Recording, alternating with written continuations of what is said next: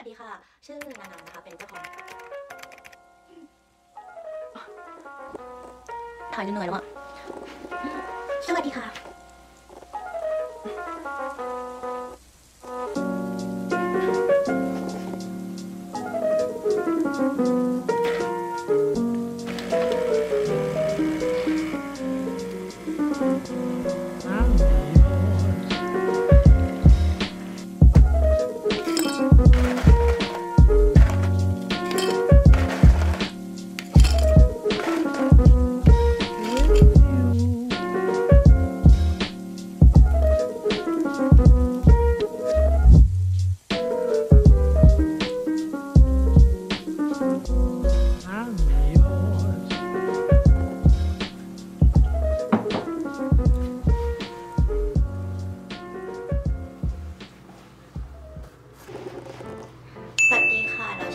นะคะ เป็นเจ้าของ Channel สนันนาเดนะคะ คลิปนี้ก็เป็นคลิปแนะนำตัวนะคะ แล้วก็เป็นคลิปแรกที่นาออกมาให้เห็นตัวเป็นๆแบบนี้นะคะ คาดว่าหลายๆ คนคงจะตกใจเพราะว่านาเองก็ตกใจเหมือนกัน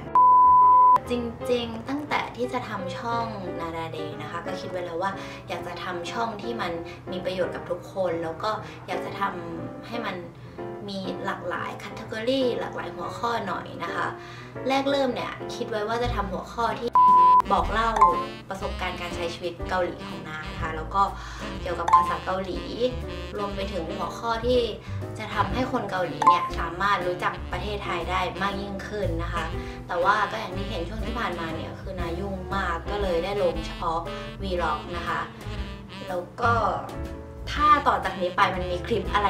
ใหม่ ๆ ที่ลงไปก็ไม่ต้องตกใจนะคะ เพราะว่าคิดไว้แล้วว่าอยากจะทำคลิปที่มัน มีประโยชน์แล้วก็สนุกสนุกมาฝากเพื่อนๆกันวีล็อกก็ยังคงทำเหมือนเดิมนะคะ เพิ่มเติมก็อย่างอื่นพูดมานานเกริ่นมานาน ขอแนะนำตัวนะคะ ก็อย่างที่บอกนะคะว่าชื่อนานะคะ เพราะกูอินเตอร์เนี่ยเพื่อนก็เรียกว่านานา ก็เลยกลายเป็นที่มาของชื่อช่องว่านานาเรสนะคะ แล้วก็ตอนนี้นาอยู่อยู่เกาหลีได้ประมาณ7ปีแล้วนะคะ สำหรับคำถามที่ว่านามาอยู่เกาหลีได้ยังไงทำอะไรอยู่นะคะ ก็คือนาเรียนจบระดับปริญญาตรีที่มหาวิทยาลัยศิลปากรนะคะ คณะเออคณะอักษรศาสตร์เอกเอเชียศึกษาภาษาเกาหลีนะคะพอเรียนจบปุ๊บก็บินมาที่เกาหลี แล้วก็มาเรียนอฮักตังหนึ่งปี ก็คือมาเรียนภาษาเกาหลีที่โรงเรียนสอนภาษาหนึ่งปี พอจบ ระดับ6นะก็ขอทุนแล้วก็เข้าศึกษาต่อในระดับปริญญาโทที่มหาวิทยาลัยอีฮวา Women University นะคะพอเรียนจบปุ๊บก็เข้าทำงานในบริษัทเล็ก ๆ แห่งหนึ่งในโซนนะคะ ตอนนี้ก็ทำงานมาได้ 2 ปีกับอีก 8 เดือนแล้วนะคะค่ะสำหรับสำหรับแนะนำตัวก็เอาคร่าวๆเท่านี้ก่อนนะคะคลิปต่อไปนะคะ ก็คงจะเป็นคลิปที่ลงลึกเกี่ยวกับ เรื่องราวการใช้ชีวิตของนาที่นี่ ไม่ว่าจะเป็นเรื่องการหางาน การทำงาน การชีวิตพนักงานหรือว่าเรื่องเรียนเรื่องวีซ่าอะไรต่างๆนะคะ ก็คงจะลงเป็นคลิปเป็นประเด็นไปนะคะสำหรับใครที่มีอะไรที่อยากรู้เป็นพิเศษ หรือว่าอยากให้นาทำวิดีโอวิดีโอแนวไหนนะคะ ก็คอมเมนต์มาได้เลย เดี๋ยวนาจะดูแล้วก็ ถ้าทำได้ก็เดี๋ยวจะลองทำดูนะคะสุดท้ายท้ายสุดขอขอบคุณทุกคนนะคะที่เข้ามาดูนะคะ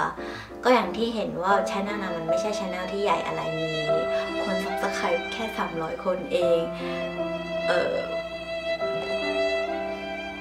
ก็บางที